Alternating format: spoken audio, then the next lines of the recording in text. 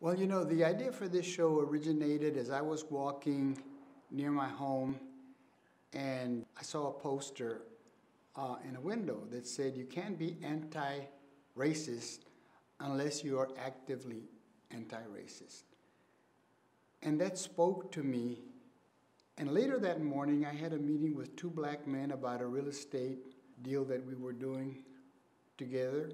One was Brandon Logan, and he was our real estate man, and the other one was Seymour Battle, who was buying our property, two black men. Brandon said to me, Let me tell you about the daily challenge of living in my skin.